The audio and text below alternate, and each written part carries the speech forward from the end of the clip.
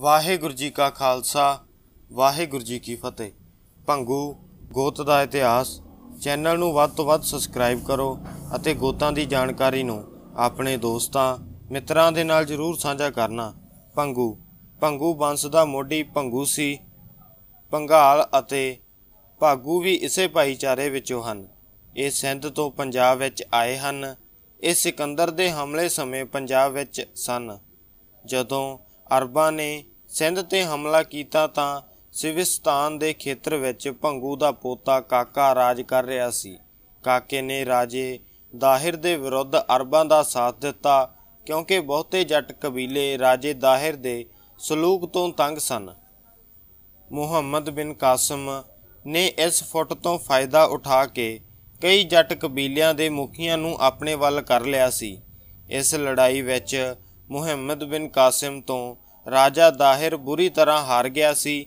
ਉਸ ਦਾ ਲੜਕਾ ਜੈ ਸਿੰਘ ਮੁਸਲਮਾਨ ਬਣ ਗਿਆ ਸੀ। ਉਸ ਦੀ ਰਾਣੀ ਤੇ ਉਸ ਦੀਆਂ ਦੋ ਪੁੱਤਰੀਆਂ ਨੂੰ ਕੈਦ ਕਰ ਲਿਆ ਸੀ। ਪਹਿਲਾਂ ਪਹਿਲ ਭੰਗੂ ਭਾਈਚਾਰੇ ਦੇ ਲੋਕ ਸਿੰਧ ਤੋਂ ਉੱਠ ਕੇ ਸ਼ੋਰਕੋਟ ਤੇ ਝੰਗ ਦੇ ਖੇਤਰ ਵਿੱਚ ਆਏ। ਕੁਝ ਭੰਗੂ ਸਿਆਲਕੋਟ ਤੇ ਮਿੰਟ ਗੁਮਰੀ ਦੇ ਖੇਤਰਾਂ ਵੱਲ ਚਲੇ ਗਏ ਸਨ। ਭੰਗੂ ਗੋਦ ਦਾ ਰਾਜਪੂਤਾਂ ਨਾਲ ਕੋਈ ਸਬੰਧ ਨਹੀਂ, ਸਗੋਂ ਇਹਨਾਂ ਦੀਆਂ ਪੰਵਾਰ ਰਾਜਪੂਤਾਂ ਦੀ ਸ਼ਾਖ ਸਿਆਲਾਂ ਨਾਲ ਬਹੁਤ ਲੜਾਈਆਂ ਹੋਈਆਂ। ਸਿਆਲਾਂ ਤੋਂ ਤੰਗ ਆ ਕੇ ਹੀ ਭੰਗੂ ਮਾਝੇ ਤੇ ਮਾਲਵੇ ਵੱਲ ਆ ਗਏ ਸਨ। ਕੁਝ ਘੱਗਰ ਤੋਂ ਪਾਰ ਸਰਸੇ ਦੇ ਖੇਤਰ ਵਿੱਚ ਵੀ ਚਲੇ ਗਏ। ਕੁਝ ਇਤਿਹਾਸਕਾਰ ਭੰਗੂਆਂ ਨੂੰ ਨੇਪਾਲ ਤੋਂ ਆਏ ਸਮਝਦੇ ਹਨ, ਇਹ ਵਿਚਾਰ ਗਲਤ ਹੈ। ਲੁਧਿਆਣੇ ਦੇ ਇਲਾਕੇ ਵਿੱਚ ਵੀ ਭੰਗੂ ਭਾਈਚਾਰੇ ਦੇ ਕਈ ਪਿੰਡ ਹਨ। ਭੰਗੂਆਂ ਦਾ ਪ੍ਰਸਿੱਧ ਪਿੰਡ ਭੜੀ ਲੁਧਿਆਣੇ ਜ਼ਿਲ੍ਹੇ ਵਿੱਚ ਖੰਨੇ ਦੇ ਨਜ਼ਦੀਕ ਹੀ ਹੈ। 1763 ਈਸਵੀ ਵਿੱਚ ਜਦੋਂ ਸਿੱਖਾਂ ਨੇ ਸਰਹੰਦ ਦਾ ਇਲਾਕਾ ਫਤਿਹ ਕੀਤਾ ਸੀ, ਤਾਂ ਸਰਦਾਰ ਮਹਿਤਾਬ ਸਿੰਘ ਭੰਗੂ ਦੀ ਵੰਡ ਵਿੱਚ ਭੜੀ ਤੇ ਕੋਟਲਾ ਆਦ ਪਿੰਡ ਆਏ। ਇਸ ਲਈ ਇਸ ਦੀ ਬਾਂਸ ਅੰਮ੍ਰਿਤਸਰ ਦਾ ਇਲਾਕਾ ਛੱਡ ਕੇ ਇਸ ਪਿੰਡ ਵਿੱਚ ਆ ਗਈ। ਪ੍ਰਾਚੀਨ ਪੰਥ ਪ੍ਰਕਾਸ਼ ਦਾ ਲੇਖਕ ਰਤਨ ਸਿੰਘ ਭੰਗੂ ਇਸ ਭਾਈਚਾਰੇ ਵਿੱਚੋਂ ਸੀ। ਕੁਝ ਭੰਗੂ ਪਿੰਡ ਡੱਲਾ ਜ਼ਿਲ੍ਹਾ ਰੋਡ ਵਿੱਚ ਵੀ ਵਸਦੇ ਹਨ। ਭੰਗੂ ਗੋਤ ਤਰਖਾਣਾ ਦਾ ਵੀ ਹੁੰਦਾ ਹੈ। ਸਪੇਰੇ ਜੱਟ ਵੀ ਰਾਏ ਤੇ ਭੰਗੂ ਆਦ ਭਾਈਚਾਰੇ ਦੇ ਵਾਂਗ ਪਹਿਲਾਂ ਸਿੰਧ ਵਿੱਚ ਆਬਾਦ ਸਨ। ਮੁਹੰਮਦ ਬਿਨ ਕਾਸਿਮ ਦੇ ਹਮਲੇ 712 ਈਸਵੀ ਤੋਂ ਮਗਰੋਂ ਪੰਜਾਬ ਵਿੱਚ ਆਏ। ਸਪੇਰੇ ਜੱਟ ਵੀ ਹਨ ਅਤੇ ਅਰੋੜੇ ਖੱਤਰੀ ਵੀ ਹਨ। ਇਹ ਸਿੰਧ ਦੇ ਅਲਰੋੜ ਨਗਰ ਵਿੱਚ ਵਸਦੇ ਹਨ। ਪੰਜਾਬ ਵਿੱਚ ਭੰਗੂ ਨਾਮ ਦੇ ਕਈ ਪਿੰਡ ਹਨ।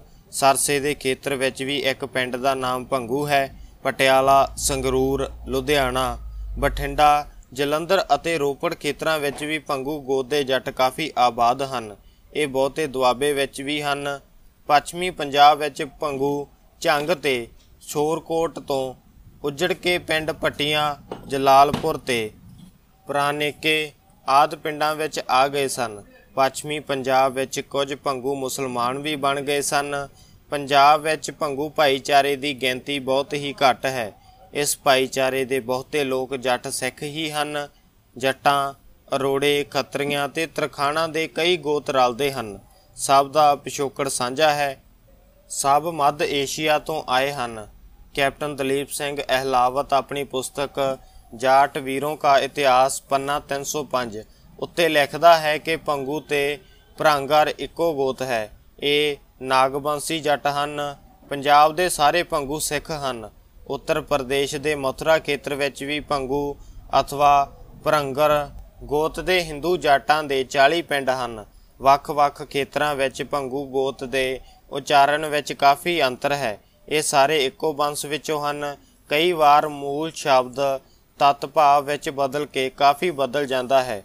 ਪੰਗੂ ਦਲੇ ਜਾਤੀਆਂ ਵਿੱਚ ਵੀ ਹਨ। ਬੋਧ ਕਾਲ ਵਿੱਚ ਬਹੁਤੇ ਜੱਟ ਕਬੀਲੇ ਬੋਧੀ ਬਣ ਗਏ ਸਨ। ਜੱਟ, ਹਿੰਦੂ, ਮੁਸਲਮ, ਸਿੱਖ, ਈਸਾਈ, ਬਿਸ਼ਨੋਈ ਆਦ ਕਈ ਧਰਮਾਂ ਵਿੱਚ ਵੰਡੇ ਗਏ ਹਨ। ਪਰ ਖੂਨ ਦੀ ਸਾਂਝ ਅਜੇ ਵੀ ਹੈ। ਜੱਟ ਮਹਾਨ ਜਾਤੀ ਹੈ। ਮੱਸੇ ਰੰਗੜ ਦਾ ਸਿਰ ਭੰਗੂ ਜੱਟ ਸਰਦਾਰ ਮਹਿਤਾਬ ਸਿੰਘ ਮੀਰਾ ਕੋਟੀਏ ਨੇ ਵੱਢ ਕੇ ਦੁਸ਼ਮਣ ਤੋਂ ਦਰਬਾਰ ਸਾਹਿਬ ਦੀ ਬੇਅਦਬੀ ਦਾ ਬਦਲਾ ਲਿਆ ਸੀ। ਉਹ ਮਹਾਨ ਸੂਰਬੀਰ ਯੋਧਾ ਸੀ। ਭੰਗੂ ਜੱਟਾਂ ਦਾ ਛੋਟਾ ਤੇ ਉੱਗਾ ਗੋਤ ਹੈ। ਵਾਹਿਗੁਰੂ ਜੀ ਕਾ ਖਾਲਸਾ, ਵਾਹਿਗੁਰੂ ਜੀ ਕੀ ਫਤਿਹ। ਚੈਨਲ ਨੂੰ ਸਬਸਕ੍ਰਾਈਬ ਕਰਨਾ ਨਾ ਭੁੱਲਣਾ ਅਤੇ ਗੋਤਾਂ ਦੀ ਜਾਣਕਾਰੀ ਨੂੰ ਆਪਣੇ ਦੋਸਤਾਂ, ਮਿੱਤਰਾਂ ਦੇ ਨਾਲ ਜਰੂਰ ਸਾਂਝਾ ਕਰਨਾ। ਵਾਹਿਗੁਰੂ ਜੀ ਕਾ ਖਾਲਸਾ।